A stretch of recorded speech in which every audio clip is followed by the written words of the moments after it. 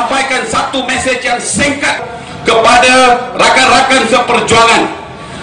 Jangan takut UMNO, jangan takut Barisan Nasional, bergandeng bau, kuburkan UMNO, kuburkan Barisan Nasional. Assalamualaikum.